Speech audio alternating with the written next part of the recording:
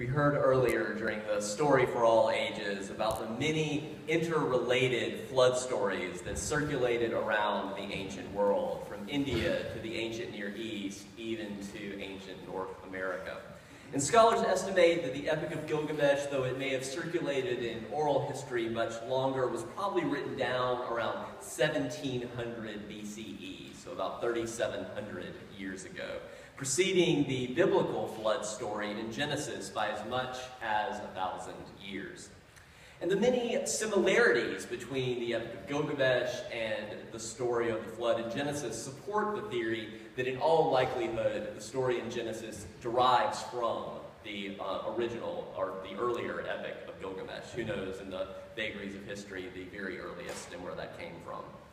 But setting aside that Gilgamesh flood story, a close reading even of just Genesis itself shows that the Bible also preserves two flood stories even within itself. One from the northern kingdom of Israel and another from the southern kingdom of Judah.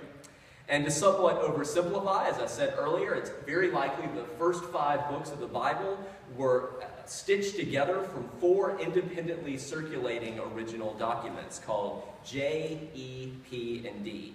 The Yahwist, and we hear that as a Y, but Germans came up with it, so they spell it with a J. So the J, E, Elohist, P, Priestly, and D, Deuteronomist, which you kind of hear, that's primarily the book of Deuteronomy.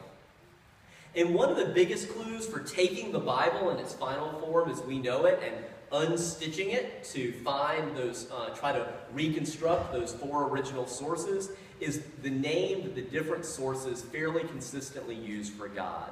God is called Yahweh in the J source and Elohim in the E source. For example, if you separate out the E and P strands from the J and D strands, they hold that the divine name Yahweh was not revealed until well into the book of Exodus. So those of you who know your Bible, Genesis, Exodus, Leviticus, Numbers, Deuteronomy. Uh, not revealed that the, the Israelites didn't know to call God Yahweh until Moses encountered the burning bush, and God said out of the burning bush, My name is Yahweh. And they didn't know that beforehand. But in contrast, if you read the J source, um, God is called Yahweh in Genesis 2. Or if you look in Genesis 4.26, we read, At that time the people began to invoke the name Yahweh. So that's really confusing, except that that hypothesis that these are actually different sources stitched together all of a sudden makes it, the text make a lot more sense. We see those same major differences in those two flood stories that the Bible um, holds together. According to the book of J, Noah takes seven pairs of each animal, whereas in the P source, Noah is told to take only two of every kind. We normally just tell the two of every kind story and don't tell the seven of every kind story. Did any of you growing up ever read Genesis for yourself and notice that it actually says seven in this part? Okay. But generally, sometimes we read little excerpts, or our teachers in our congregations are following a lesson that just excerpts the story or tells them which verses to read, and you don't read the text for yourself and don't notice that it says two animals here and seven animals here. And that discrepancy is really important for after the flood, which is another part of the story that often isn't told. Because according to the book of J, Noah built an altar to the Lord and took of every clean animal and every bird and offered a burnt offering on the altar. Now, if you only have two of each animal, what does that mean? You don't have an animal to spare, right? That would mean mass extinction. Uh, but according to the J source, Noah has seven pairs of each animal. So then, yeah, you have a, a spare pair for a offering. Uh, so for the P source, in which only one pair of each animal is taken to the ark, um, I already said this. So there is, uh, what happens when I go off script and look at the, okay. There is no such problem for the P source, of course, which holds that no ritual sacrifices happen toward, to, until after the tabernacle is built, almost at the end of Exodus. Uh, moreover, for the P, that priestly source, uh, only the sons of Aaron can make proper ritual sacrifices. And Noah, of course, is not a son of Aaron because Noah was born before Aaron. Let me quickly also mention a few other differences that help distinguish those two flood stories in Genesis. Different animals released as the flood recedes, different lengths of the flood, and different life expectancies of the humans. Similar to one of the animals used in the Epic of Gilgamesh that we heard earlier, the P source says that Noah released a raven in just one time to determine whether the waters had lowered enough and whether there was dry land yet. But according to J, Noah sends out a dove and sends it out three times. The J source tells us that the flood lasted 40 days, whereas P tells us one chapter later that the flood lasted for a year and 10 days. Uh, according to the book of J, God says definitively, My spirit shall not abide in mortals forever, for they are flesh, their days shall be 120 years. But consistently in the J source, that's where we see all the, the J is earlier, and that's where we see all the people living a really, really long time, up to like Methuselah, right, uh, who lives like 969 years or something. The editors of the anthology of the books that came to be the Bible, and that's who the Bible is. That word Bible just means books, biblia in Greek. If you, those of you who took Spanish, you hear biblioteca. It just means books. It's an anthology. So the compilers of these books, this anthology that is the Bible, they were perhaps more tolerant of ambiguity, contradiction, and plurality than some of the modern proponents of the Bible. They kept two versions of the creation story. They kept two flood stories. There's other places where you have these doublets. And if you're interested in learning more about these earlier sources behind the Hebrew Bible, a really helpful starting point is books by Richard Elliott Friedman. He's a professor of Jewish studies. He used to be at Berkeley, now he's at the University of Georgia. He has a popular historical survey called Who Wrote the Bible? It's almost like a detective story. And then he has another book called The Bible with Sources Revealed, and it has different colors. So as you read through uh, the Genesis and Exodus, Leviticus, and Numbers, the J source is one color, the P source is another, the editor, you know, it has like bold and italics to mean different things. So it really visually shows you the way scholars are trying to unstitch these, uh, this final form that we know best. And as many of you know, I'm teaching a class at Frederick Community College right now called Banned Questions About the Bible. And it's mostly just about surveying some of these basic scholarly questions that scholars have been asking for well more than a century, but that don't always make their way from the academy to the local congregation. And this discrepancy between how the Bible is taught in college versus how it's taught in congregations, and it's, it's really a, a shame. I feel, I mean, it's fascinating to work with these young people, but it's also devastating to grow up in a, a congregation that didn't tell you to ask these questions, and all of a sudden you read the text for yourself and you're like, whoa, they're right. what do I do with this information? Uh, so, but this discrepancy between college and congreg congregational ways of reading the Bible in many cases is one of the reasons I was eager to see what Darren Aronofsky would do with the Noah story. This Jewish kid from Brooklyn, this director of films uh, that are equal parts fascinating and disturbing, like Pi, P-I, not P-I-E, the mathematical pi, uh, Requiem for a Dream and Black Swan. So these, these very visceral, edgy movies. I was interested to see what Aronofsky could do with the Bible in one hand and $130 million in the other. and although I think the film is strong in parts, I think it ultimately falls short in some ways. Some of the Hollywood cliches that he ended up having to introduce, the compromises he had to make because he got, you know, you get $130 million and Hollywood gets the final cut of your film. You know, it's you, you choose your battles. But Aronofsky does fascinatingly trans, uh, translate scripture into screenplay using a very Jewish method of interpretation called midrash. It's been with us for centuries. And Midrash seeks to fill in the gaps of biblical texts with elaborate details and speculation. So if you've ever been reading the Bible or another, or even just a novel or another scriptural tradition and, and had questions come up, like, I wonder about this that they don't mention it, what Midrash does is take those questions and run with them and, and speculate and hypothesize. Uh, many critics of Aronofsky's Noah forget that Cecil B. DeMille, if you hold that film, The Ten Commandments, up against the Bible, he took um, many uh, issues of artistic license in 1956 uh, as he portrayed the Bible on the silver screen. He didn't catch anywhere near as much flack as Aronofsky has, but he did stir up some controversy if you go back and look in the papers in the 50s. But what's even more frustrating about some of the criticism of this new film, um, Noah, by Darren Aronofsky, is that those who complain that Aronofsky just made up whole cloth these transformer-like rock creatures called the Watchers. How many of you have seen the film at this point? Okay, a fair amount. Uh, Aronofsky did indeed take significant midrashic artistic license by giving those creatures a huge role in the film, but he didn't make them up whole cloth. As we looked at briefly last week, uh, if you read the uh, book of Noah, starting in Genesis 6 5, all those who brought your Bibles can follow along with me. Uh, starting in Genesis 6 5, we read, The Lord saw that the wickedness of humankind was great on the earth, and that every inclina- inclination of the thoughts of their hearts was only evil continually. And the Lord was sorry that he had made humankind on the earth, and it grieved him to his heart. So the Lord said, I will blot out from the earth the humans that I have created, people together with animals and the creeping things and the birds of the air, for I am sorry I have made them. And Noah found favor in the sight of the Lord.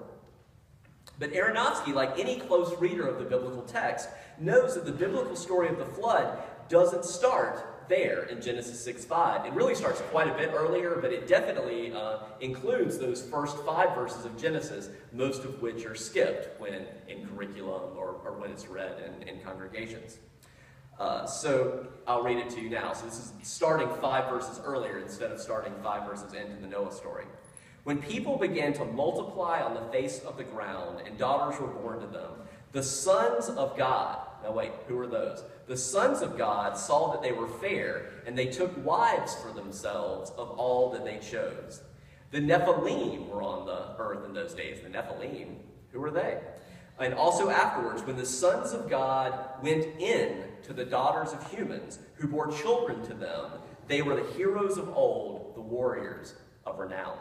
So that's some weird stuff that most people growing up in Christian congregations don't hear, even though it's only six chapters in the book of Genesis. Those, it comes from a lot of strategic uh, reading. Those Bible verses sound like they easily could be lifted from stories of the Greek and Roman gods and goddesses disguising themselves and cavorting among humankind. And Aronofsky's Transformer-like rock monsters and his cinematic versions of these ancient midrashim that explore the questions of what the heck are the Nephilim, literally that word means fallen ones.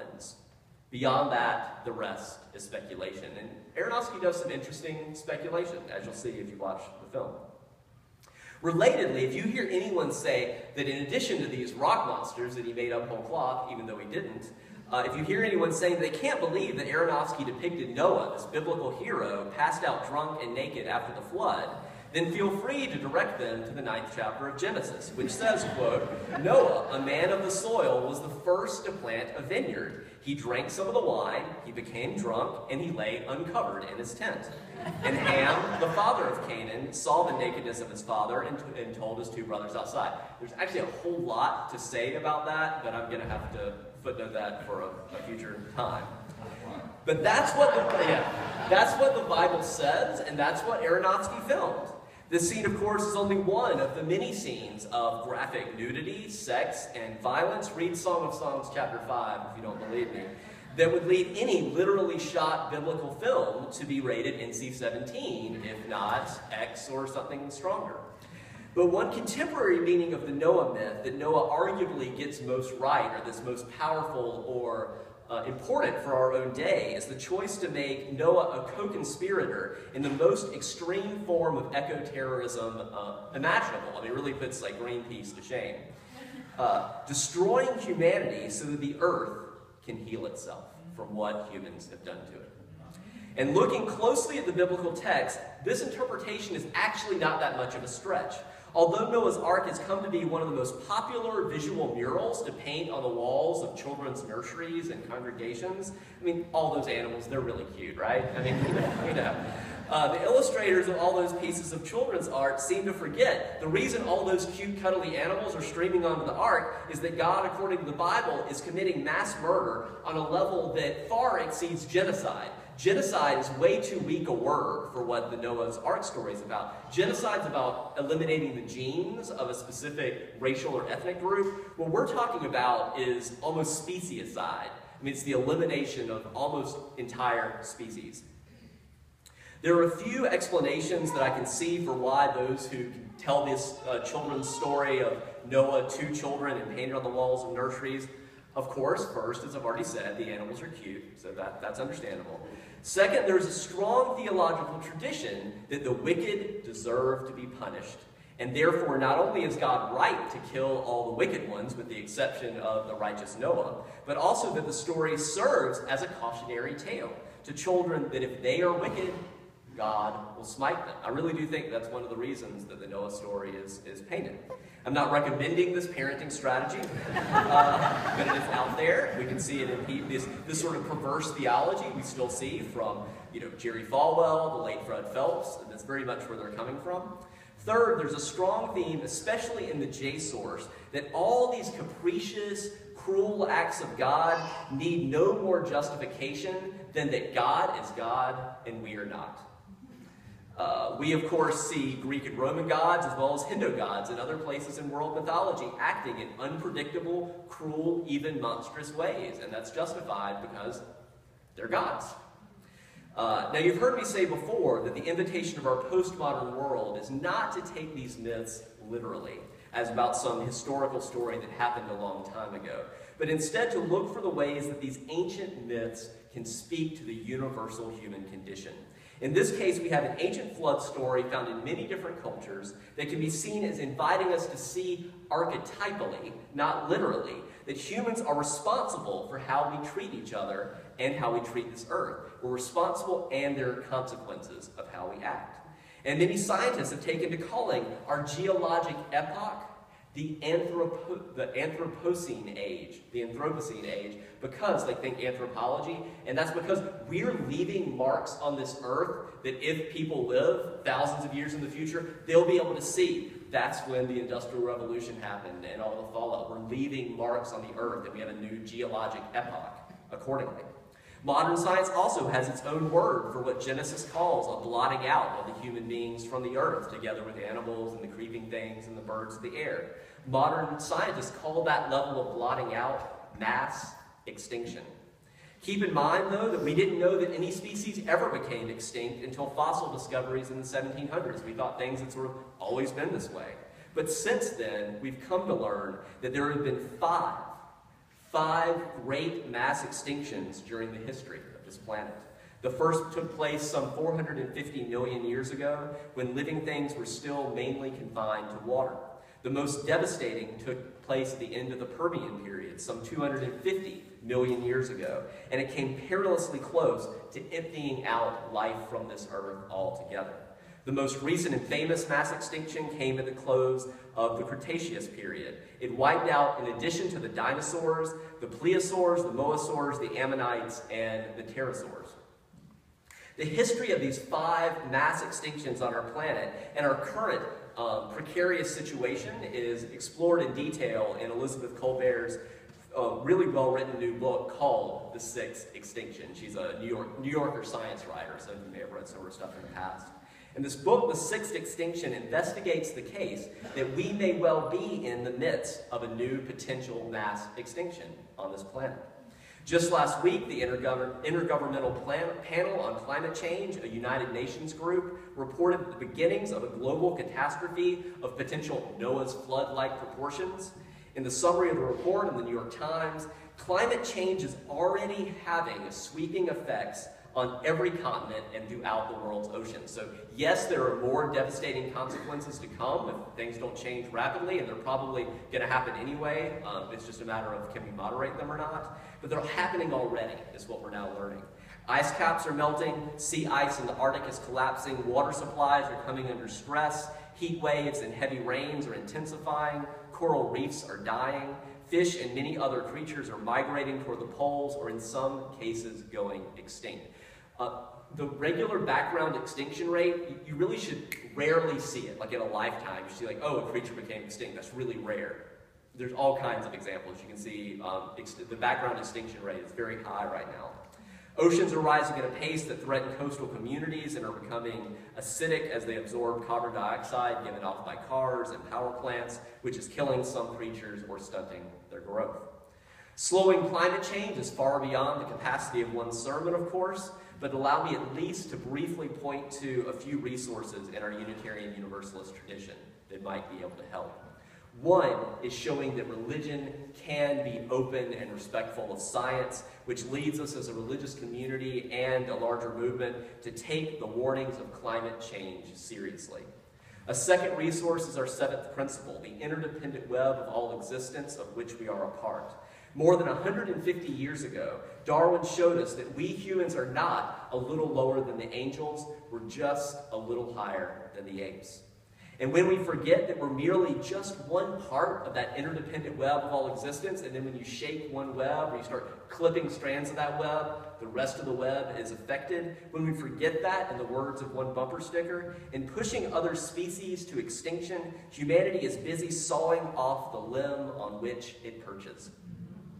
A third resource is the universalist half of our heritage, which began as a rejection of the idea of hell and damnation in the next world and expanded to a universal, universalism, started as universal salvation, and then became a universal concern for all people in this world.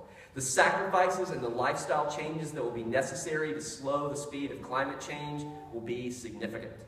But our universalist heritage gives us uh, hope that that shift really is possible.